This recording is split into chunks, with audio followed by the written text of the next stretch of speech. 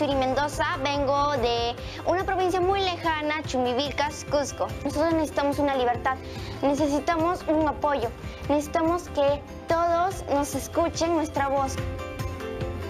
Fue una bonita experiencia, me sentí muy bien, estaba alrededor de gente importante, también nos hicieron escuchar nuestra voz.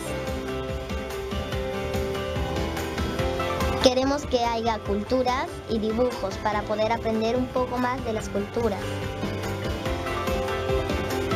Niñas con Igualdad representa la esperanza, la ansiedad, el deseo de que tengamos un país donde las niñas se sientan seguras, reconocidas en sus plenos derechos, pero sobre todo integradas a una sociedad donde no las marginen. Si promovemos campañas así y promovemos dibujos que le enseñan a los niños sobre el amor, sobre cosas que ellos deben de saber, pues creo que ellos ya van a crecer aprendiendo.